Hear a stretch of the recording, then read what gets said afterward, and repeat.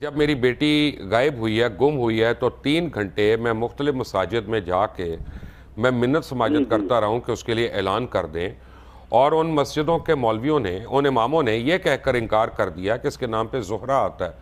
हम ऐलान नहीं करेंगे। यानी वो शिया हैं अहल तशी हैं और हम देवबंदी हैं या हम अहल सुन्नत हैं या हम हनफी हैं मुझे नहीं पता लेकिन हम नहीं करेंगे। आप चेयरमैन ने कहना कि हमारे कब्रिस्तानों में मसला है? वहाँ पे तदफीन नहीं होने दे रहे कुछ कब्रिस्तानों में लोग। वहाँ मसले बने हुए ये ये ये ये मुबशर भाई ये जो कब्रिस्तानों में तदफीन का मामला है ना ये आपके यहाँ पिछले सौ डेढ़ सौ साल का एक पुराना एक कजिया है उससे इनकार नहीं, नहीं होना चाहिए। लेकिन अगर कोई शख्स तो दोस्तों आपने ये वीडियो का छोटा सा क्लिप देखा वीडियो का टॉपिक आप समझ गए होंगे। पाकिस्तान में एक बच्ची घूमती है जिसके पिता जाते हैं मस्जिद में बेसिकली उनके आसपास जो मस्जिद रहती है तो उस मस्जिद में उन वहाँ के मौलाना उस बच्ची का अनाउंसमेंट करने से मना कर देते हैं क्योंकि वो बच्ची सिया थी। तो आप समझ सकते हो सिचुएशन ये पहले पूरा वीडियो देखते हैं फिर वीडियो के अंतिम भाग में करते हैं डिटेल में बात। अगर आपको ये वीडियो पसंद आता है तो प्लीज़ चैनल को सब्सक्राइब करिएगा वीडियो को लाइक करिएगा। है। हुक्म करे भाई वो एक बच्ची है दुआ जहरा जो अगवा हो गई दस दिन पहले और उसका पता नहीं चल रहा पुलिस तफ्तीश कर रही है लोग कोशिश कर रहे हैं कर रहे हैं अब वो अपनी जगह पे है। लेकिन परसों उसके वालिद ने बताया उनका बयान आया टेलीविज़न पे आया कि जब मेरी बेटी गायब हुई है गुम हुई है तो तीन घंटे मैं मुख्तलिफ़ मसाजिद में जाके मैं मिन्नत समाजत करता रहा हूँ कि उसके लिए ऐलान कर दें। और उन मस्जिदों के मौलवियों ने उन इमामों ने यह कहकर इनकार कर दिया कि इसके नाम पे जोहरा आता है।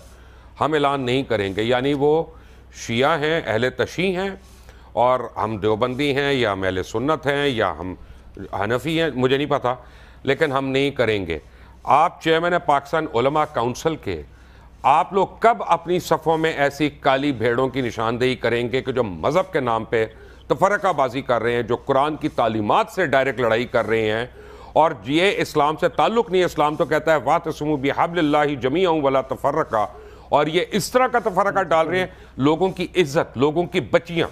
यानी उसके लिए हम तफ, वो फ़िरका ढूंढ रहे हैं कि जनाब ये शिया है तो हमने नहीं करना यही चीज़ एक और बच्ची के साथ हुई और तीन दिन पहले हुई। वो शुक्र है कि वो बच्ची का पता चल गया वो दस्तियाब हो गई उसका नाम काजमी आता था। तो उसका भी मस्जिद में ऐलान होने से इनकार हो गया। हाफिज साहब ये किस तरह के मुसलमान हमने पैदा कर लिए हैं?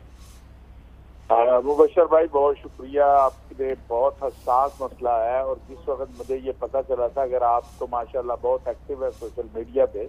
आप देखिए कि इस बच्ची के अब तक मेरे सामने खा किसी ने भी इसके लिए अपील लिखी है वो पाकिस्तान उलमा कौंसिल की तरफ़ से भी मेरी तरफ़ से भी उस अपील को दोबारा जिसे आप कहते हैं हाफिज साहब छोड़े अपील वपील ये ना ना ना ना एक मिनट नहीं ना मैंने नहीं सुनी मैंने बात करने देंगे मुझे तो मेहरबानी मुझे बात कर लेने दें। अगर आपने आपकी बात मैंने सुन ली है मेरी बात भी मेहरबानी करें सुन गुजारिश ये है कि जिस मौलवी ने ये इनकार किया है ना ऐलान करने से और ये कहा है कि इसके नाम में जारा आता है हम्म। वो इंसान भी नहीं हो सकता।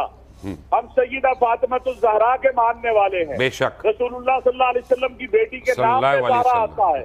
ये तो कोई इंसान भी नहीं है और अगर उस मस्जिद की ये निशानदाही करें उसके खिलाफ पर्चा होना चाहिए। पैगाम पाकिस्तान दस्तावेज़ के मुताबिक भी आयने पाकिस्तान के मुताबिक भी। और उसको लटकाना चाहिए। ये कोई इंसान का बच्चा नहीं है। आज अलहमदुल्ला पाकिस्तान में जितनी आपस में रवादारी है कहीं मेरा ख्याल है दुनिया में इस तरह से शिया सुन्नी और जो बंदी बरेलवी वाले हदीस नहीं है। अगर किसी एक जाहल मुतलक ने, मैं उसको इंसान मानने को तैयार नहीं हूँ। मुसलमान तो बात की बात है। क्या कोई मुसलमान ये तस्वर कर सकता है? कि वो सईदा फातिमा तो जहरा यानी जहरा जिसके नाम का हो वो मैं ऐलान नहीं करता कि इसके नाम में जहरा आता है। और रमज़ान के महीने में? रमज़ान के महीने में और जहालत में इसके खिलाफ तो पर्चा देना चाहिए। और मैं आपके प्रोग्राम में कह रहा हूँ अगर मुझे इसकी तफसीलात मिले हम बाकायदा इसमें फरीक बनेंगे और आप देखेंगे कि इसके खिलाफ कानूनी एक्शन भी होगा और इन ताला ये इसके निशान इबरत बनेगा। ये तो इसको तो अब मैं मुफ्ती नहीं हूँ। लेकिन सच्ची बात अगर किसी को जहरा के लफज से इतनी नफरत है तो उसको तो अपना सोचना चाहिए कि वो रसूलुल्लाह सल्लल्लाहु अलैहि वसल्लम सामना कैसे करेगा। हम तो फातिमा तो जहरा के जो है बच्चों के नालैन मुबारक भी अपने बच्चे कुर्बान करते बेशक। हाफिज साहब आपको पता है ना कि हमारे कब्रिस्तानों में मसला है। वहाँ पे तदफीन नहीं होने दे रहे कुछ कब्रिस्तानों में लोग वहाँ मसले बने हुए ये ये ये ये मुबशर भाई ये जो कब्रस्तानों में तदफीन का मामला है ना ये आपके यहाँ पिछले सौ डेढ़ सौ साल का एक पुराना एक कजिया है। उससे इनकार नहीं, नहीं होना चाहिए। लेकिन अगर कोई शख्स ये कहता है कि ये वो मसीह की बच्ची क्यों ना हो? क्या रसूलुल्लाह सल्लल्लाहु अलैहि वसल्लम ने आदम ताई की बेटी के सर पे दुपट्टा नहीं दिया? बेशक। ये क्या दीन इस्लाम ने आगे औरत को ताकुज नहीं दिया? यही तो मुसीबत है ये तो रो रहे हैं। कि वो लोग मेहराब मिंबर पे आके बैठ जाते हैं और इंतजामिया उनको मुसल्ला दे देती है जिनको कुलू अल्लाह ठीक पढ़नी नहीं आती है। और इनशाला मैं आपके इस मामले में मैं आपसे चाहूँगा मैं उस बच्ची के वालिद से भी अपील करता हूँ। मैं खुद भी मैं खुद पता कर लेता हूँ। मैं खुद पता करके आपको बताऊँगा। और एक और बात हाफिज साहब इस, इसका पार्ट टू भी है इस केस का। जी जी। वो बच्ची चौदह साल की है नाजरा के रिकॉर्ड के मुताबिक क्योंकि उसके बाप की शादी ही नहीं हुई थी अठारह साल पहले तो या बीस साल पहले और उसका बे फॉर्म वगैरह भी है। तो यहाँ एक लाहौर में एक मौलवी साहब ने निकाह रजिस्ट्रार ने उसका निकाह करवा दिया और उस पर लिखा हुआ उसकी अठारह साल उम्र। ये किस तरह के निकाह रजिस्ट्रार हैं? किस तरह के निकाह कौन है? इसका भी कानून आएगा अगर वो बच्ची की उम्र चौदह साल है और इसने उसका निकाह किया? ये निकाह रजिस्ट्रार जेल में जाएगा इसका लाइसेंस कैंसिल होगा हमें खड़ा होना होगा इसकी निशानदेही आपने की। अल्लाह आपको जजाय खैर दे। मैं मुबशर भाई इनशाला इस गजिए को मैंने पहले तीन चार दिन से ये हमारी बेटी है यार। बेशक। ये कोई ये अगर किसी यहूदी की बेटी भी होती तब भी मेरी बेटी मैं कहता हूँ लादीन की होती। रिंशा मसीह इस्लामाबाद में एक डाउन सिंड्रम बच्ची थी। मैंने उसका केस लड़ा था आपको याद होगा हाँ, बिल्कुल याद है। तो ये हमारी बच्चियाँ हैं ये ये जालिम इनको अल्लाह हिदायत दे नहीं तो इनको उठा ले। ये हमारे मुल्क का हमारे दीन की बदनामी का सबब बनते हैं। और आखिरी एक बात आपने अभी कही मुबशर भाई आपको पता है मुझे अल्लाह ताला का बहुत करम है। मैं तो उसका जितना भी उस शुक्र अदा करूँ कि मैं तो हरमैन शरीफैन में हाजिरी देता रहता हूँ। अलहमदुल्ला ये जितने भी लोग जा रहे हैं, हम बड़ा शोर सुन रहे हैं। कोई इनमें से ऐसा शख्स नहीं है जो अपना खर्चा खुद नहीं अदा कर रहा। हम सब अपना खर्चा अपने मुल्क के लिए मैं जा रहा हूँ। मुझे मुझे सऊदी अरब जाने के लिए तो किसी वफद की या किसी उसकी ज़रूरत नहीं है अलहमदुल्ला हम सब अपना खर्चा उठा रहे हैं, अपने मुल्क के लिए जा रहे हैं और तो दोस्तों, ये वीडियो यहाँ पर होता है समाप्त। आपने देखा, इस वीडियो में बात हो रही थी एक बच्ची की जो कि कराची में घूमती है, हालाँकि वो बच्ची अब मिल चुकी है, लेकिन वो टॉपिक नहीं है। बच्ची कराची में घूमती है, उसके फैमिली मेंबर्स आस पास की मस्जिद में जाते हैं और बोलते हैं कि भैया लाउड स्पीकर में आप अनाउंसमेंट कर दो, अगर आसपास बच्ची होगी तो शायद वो मिल जाए। वो मना कर देते हैं क्योंकि रीज़न ये था कि बच्ची का नाम सुनते ही वो बोलते हैं, अरे, ये तो शिया है। शिया सुनते ही वो मना कर देते हैं। तो आप समझ सकते हो दोस्तों सिचुएशन क्या है।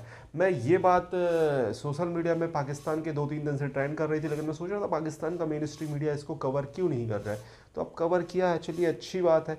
ये जो पाकिस्तान के लोग हैं, या भारत के मुस्लिम हैं, या बांग्लादेश के मुस्लिम, या ओवरऑल दुनिया के मुस्लिम हैं, आपने देखा होगा ये बात करते हैं जात पात ये वो फलाना ठिकाना बेसिकली ये टारगेट करते हैं। हिंदुओं को तो बहुत टारगेट करते हैं, आपने देखा होगा। लेकिन जब यहाँ पे बात करो तो फिर इनके मुँह में दही जम जाता है। ये बिल्कुल सच है, इसमें कोई दो राय नहीं है। आपने सुना होगा दोस्तों कि पाकिस्तान में हुआ मस्जिद में धमाका इतने लोग मारे गए, अफ़गानिस्तान में हुआ मस्जिद में धमाका इतने लोग मारे गए, या पाकिस्तान में मस्जिद में हमला हुआ, या पाकिस्तान में इस कब्रगाह में कब्र पर हमला हुआ और कब्रें तोड़ी गई। तो आप समझ सकते हो, ये बेसिकली अगर आप ये सोचें तो पाकिस्तान में अगर कब्र पर हमला होता है या मस्जिद में हमला होता है तो मस्जिदों में जो हमले होते हैं, ज़्यादातर वो शियाओं पर होते हैं, कब्र अगर तोड़ी जा रही है आजकल तो वो ज़्यादातर तोड़ी जा रही है अहमदी मुस्लिम की। और अफ़गानिस्तान में तो अहमदी बचे ही नहीं है। तो वहाँ पर जो ज़्यादातर हमले होते हैं, वो टोटली शियाओं की मस्जिद पर होते हैं। आपने अभी तो सुना होगा, तीन, चार दिन पहले शियाओं पर हमला हुआ, वो भी रमज़ान में। तो आप समझ सकते हो कितनी है इनकी बर्दाश्त की हद। और कोई कितना भी कहे, आप माने ना माने, ये ओवरऑल अगर सब कॉन्टिनेंट के अगर मुसलमानों की सोच देखेंगे तो वो एक सी रहती है। ये आप रियलाइज़ कर चुके होंगे, आप देख देख चुके होंगे एक सी होती है। We believe in only one God Allah we don't know मतलब ऐसा कुछ ये डायलॉग मारते रहते हैं, किसी को नहीं मानते। मैंने कुछ दिन पहले एक विजेंद्र सिंह का स्क्रीनशॉट शेयर किया था। बॉक्सर विजेंद्र सिंह थे। उन्होंने लिखा था कि क्या लिखा था उन्होंने? ये ईश्वर, अल्लाह, महावीर, जीजस वायगुरु को कौन डिवाइड करने की कोशिश कर रहा है? सब एक है। उसके नीचे आप मुस्लिम, मुसलमानों के रिप्लाई देखिए। उन्होंने सबको अलग कर दिया, कहता भैया, ये सब वो नहीं है, केवल अल्लाह, बाकी सब समझ जाओ आप। तो इस तरीके की आइडियोलॉजी ये इंडियन सब कॉन्टिनेंट में है, मानो ना मानो, ये एक सच है। अगर कोई बोले कि मैं नफरत फैला रहा हूँ, ये और वो, मैं वो बता रहा हूँ जो एक सच बात है। दोस्तों, वीडियो खत्म होता है प्लीज़ चैनल को सब्सक्राइब करिएगा। अगर आपको ये